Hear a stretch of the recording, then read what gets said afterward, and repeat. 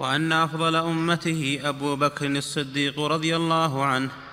لأنه أول الخلفاء الراشدين وهو الذي بايع له الصحابة بعد الرسول صلى الله عليه وسلم واختاروه لأنه أفضلهم.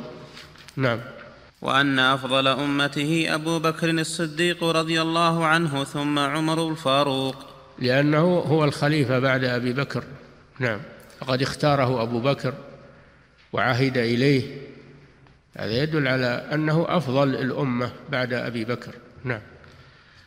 ثم عثمان ذو ثم النورين. عثمان هو الثالث لأن أصحاب الشورى الستة الذين عهد إليهم عمر اختاروا عثمان اختاروا عثمان رضي الله عنه لفضله ومكانته.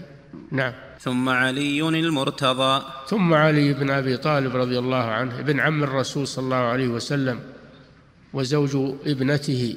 وأبو الحسنين وله من الفضائل يحب الله ورسوله ويحبه الله ورسوله كما قال النبي صلى الله عليه وسلم فله فضائل عظيمة رضي الله عنه. نعم.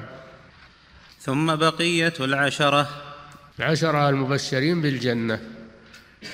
نعم. ثم أهل بدر.